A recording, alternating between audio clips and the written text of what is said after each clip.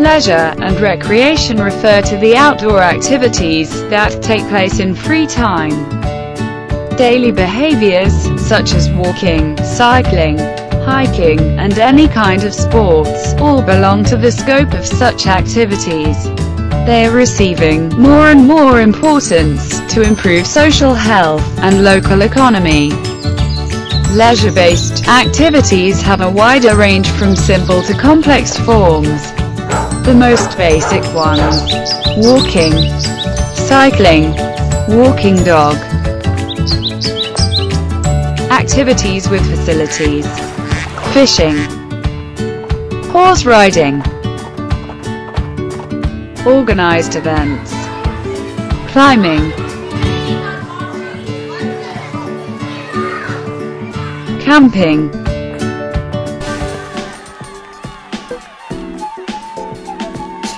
During the field trip to Netherlands, good practices have been observed in terms of leisure development. Places are needed to accommodate visitors, with catering, resting functions. Activity facilities are crucial, such as cycling ways for bikers, riverside playground crease opportunities for landscape views and social space.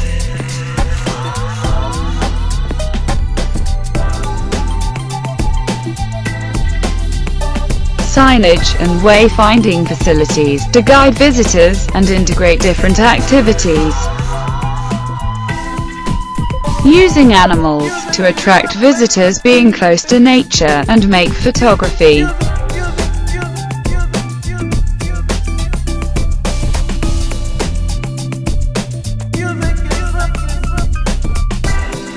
And necessary built forms, to encourage events like camping, and sports pitches. Back to the Bold Forest Park, some simple activities already exist.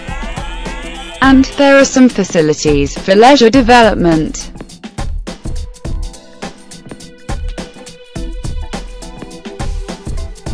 Some visitor attractions are existing, like the Dream Sculpture.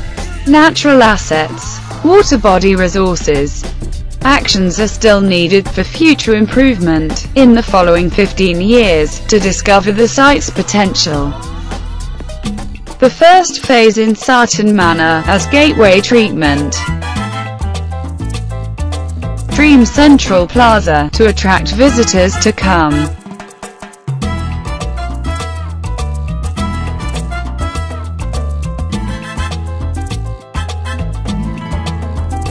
Visitor center, to accommodate visitors' needs, and create the inviting feeling.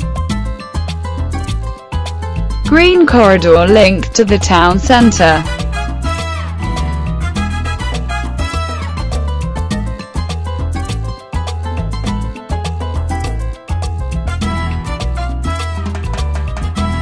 extends the footpath, and connect the city centre, with the Bold Forest Park, with cycling lanes.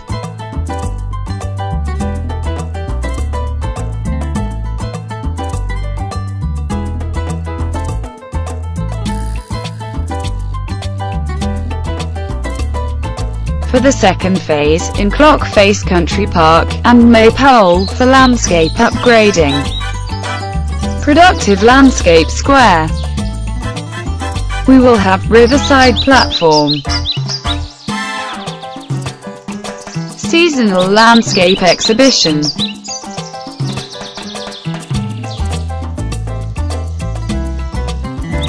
The third phase in Collier's Moss Common, with culture and nature as development driver. Cultural Heritage Corridor. Horse Riding Field.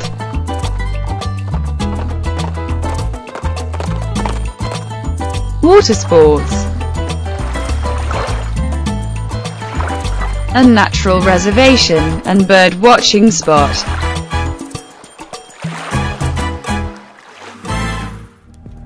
We use physical access to bridge the development phases, with different themes, to diversify the leisure and recreation, from attracting visitors, with basic forms, letting them stay longer, and spend more, with organized events to further promote local culture and profile to achieve the flagship development.